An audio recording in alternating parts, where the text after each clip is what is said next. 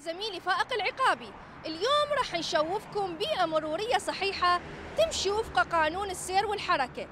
تنعم هواية من الطرق الرئيسية بأكثر مناطق أربيل إلى انسيابية حركة السير بمختلف الأوقات من الصباح وحتى المساء.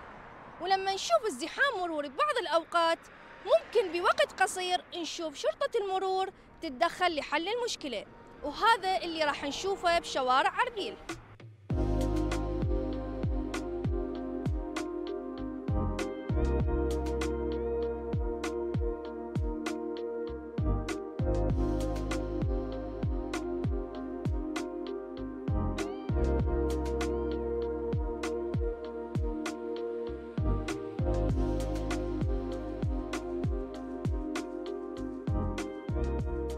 التنظيم الجيد للمرور وتنظيم الشوارع والتزام المواطنين بالقوانين المرورية طبعا هاي تأثر على آه، تقليل الازدحامات وتقليل الاختناقات المرورية في الأربيل. الكاميرات المرورية هاي كعيون رقيب يعني السائق من يشعر إنه دائما هو تحت مراقبة يلتزم بالقوانين المرورية آه، خاصة آه، كاميرات التحديد السرعة. هاي طبعا أثرت بشكل جذري على تقليل الحوادث المرورية الناتجة عن السرعة الزائدة. نظام الإجازات السابق آه، كان عندنا فقط أربع أنواع إجازات، إجازات العمومية والخصوصية وإجازات دراجات النارية والإنشائية، لكن حاليا هذا النظام ب 13 نوع من الإجازات.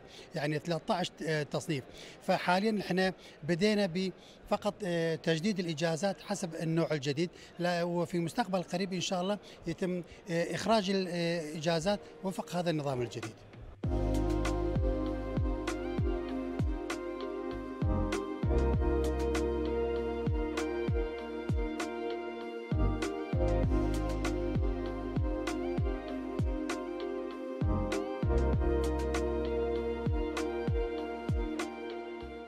وهسه انتقلنا من شارع 100 إلى شارع 120 اللي هو واحد من أهم الشوارع اللي قلل الازدحام في مركز أربيل. لأن هذا الشارع ربط اللي جاي من كركوك ويروح إلى دهوك أو الموصل فهذا السبب قلل الازدحام في أربيل. ولا الشوارع زين ونظيف وقانون آه ازدحامات ماكو يعني قليل ازدحامات.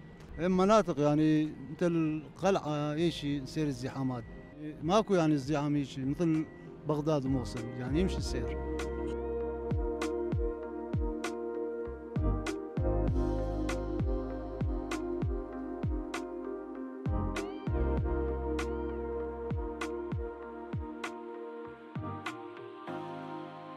وصلنا ختام تجواننا بشوارع أربيل شوفناكم حركة السيارات وعودة لك زميل فائق العقابي وبرنامج دفتر ملاحظات.